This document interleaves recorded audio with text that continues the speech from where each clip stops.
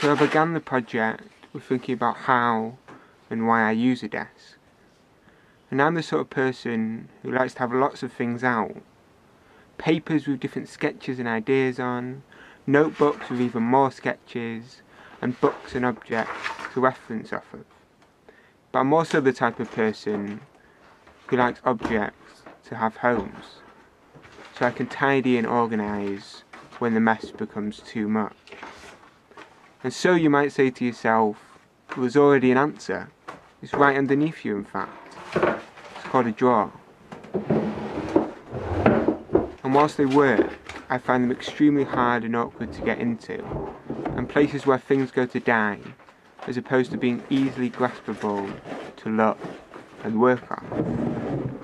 And so my idea seeks to integrate both these work and storage spaces through the addition of a fabric sling, allowing users to easily swap between the two environments and stay both organised and inspired at the same time. And so I started out making the project with a sheet of acclaimed Baltic birch plywood, using my circular saw to cut it to length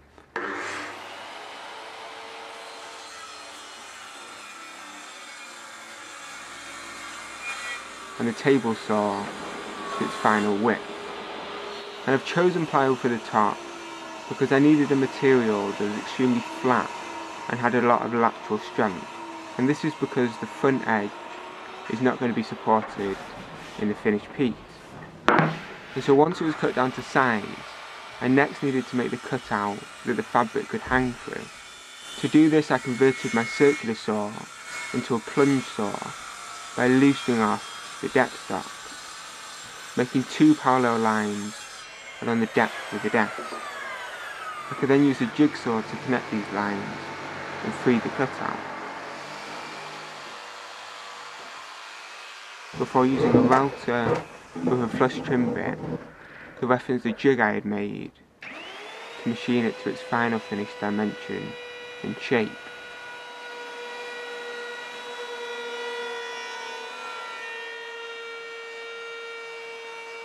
To remove the sharp edges of this slot, clean up any grain tear out, and also create a groove that stationery could be placed in.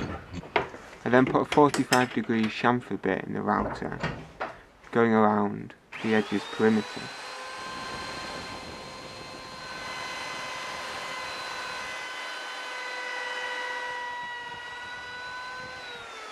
Final step for the desktop was then to drill four holes one in each corner that the legs would fit through.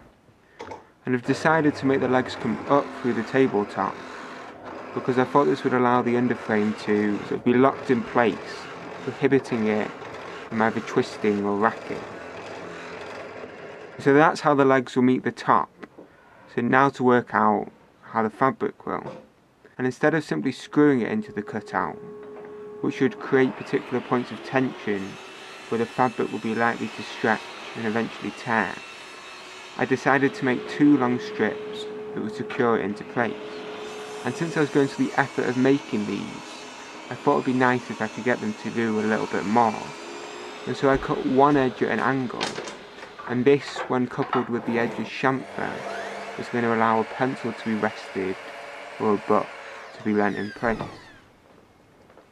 And to make the sling itself, I'm using a piece of canvas as it's a cheap, strong and widely available material that is resistant to stretching.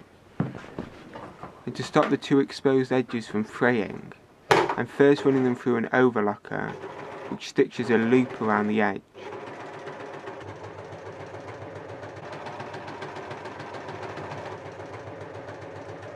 Before folding this part over and sewing a single line stitch it back on itself.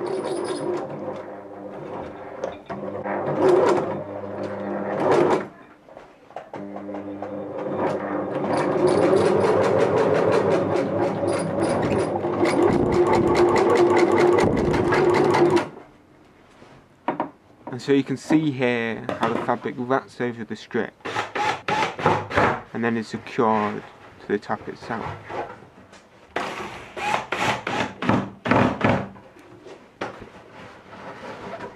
And with that, desktop is finished. And so we can move over to the supporting framework and I'm making all of this out of solid ash. And because the boards are rough sawn, I'm first going to run them through the thicknesser to give me one smooth face to reference off of.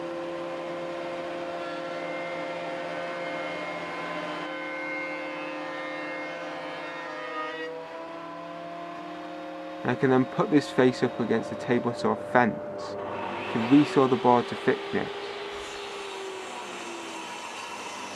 making sure to do this in small increments so as to not overload the saw blade.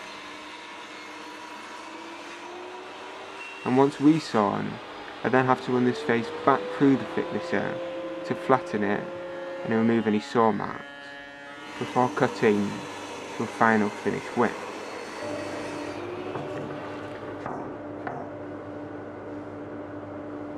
To make the stocks for the legs, I follow a similar process, using the table saw to machine the ash to its required width and height. However this time, because I want the legs to be cylindrical, I mark a circle on each end that the table saw can reference. First removing the bulk of the waste with the blade set to 45 degrees, before refining it further at 22 and a half.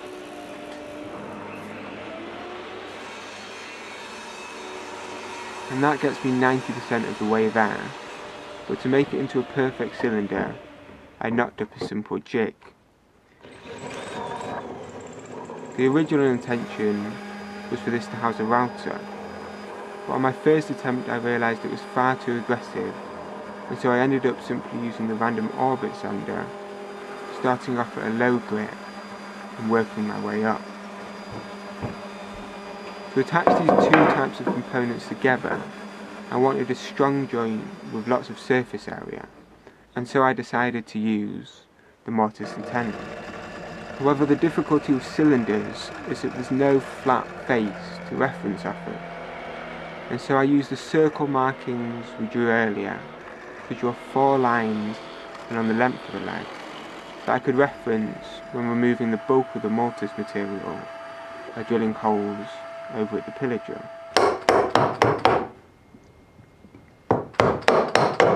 Before cleaning these holes up with a variety of different sized chisels.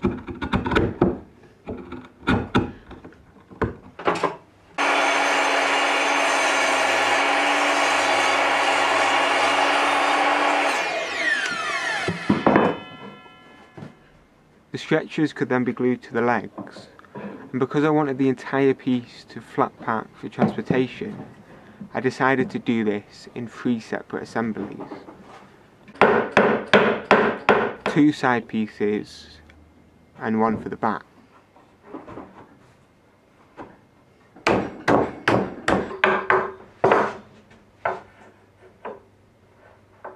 And they ultimately attach together by drilling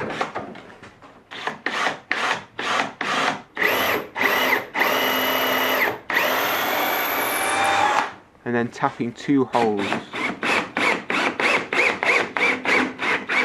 That an M6 bolt can be threaded through.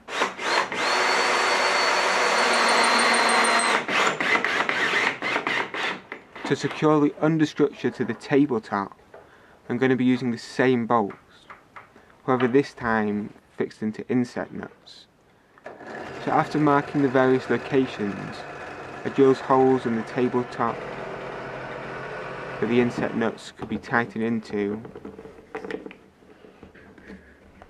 and drilled correspondingly located holes in the stretchers.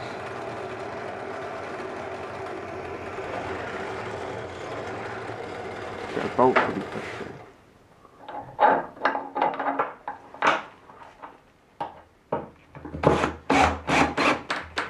But now everything is finally secure together, ironically, it has to be completely taken apart for finishing. So I started off by sanding all the faces up to 180 grit.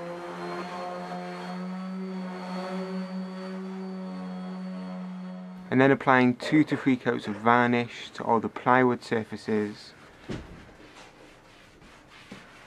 and two coats of wax to the ash making sure to denib with 400 grit sandpaper in between coats.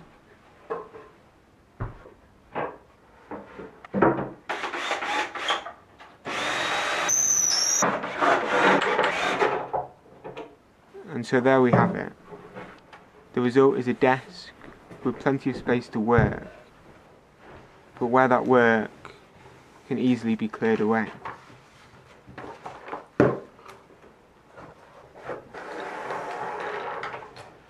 Where the information you're referencing is always on hand and easy to access, and where the cutout, which would normally only provide an avenue for a plug or cause, also provides a space to quickly rest your favourite pen or pencil, store bigger pieces of stationery, or to display a special book or painting.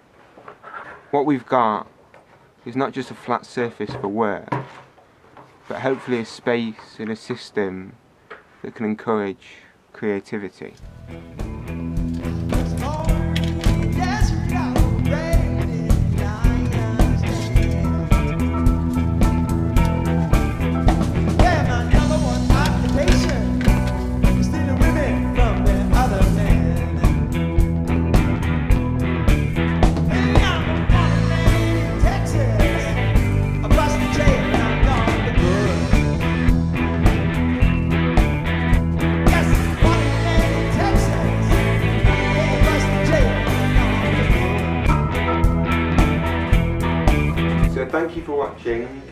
Enjoyed the video and you want to see more, there should be two on your screen shortly. If you want to see other people's desk entries, there should be a playlist link on your screen somewhere too. And if you want to support me or the channel, I've just started selling some of the things I make, and so there'll be a link to that in the description below. So again, thank you and good luck to everyone else that entered.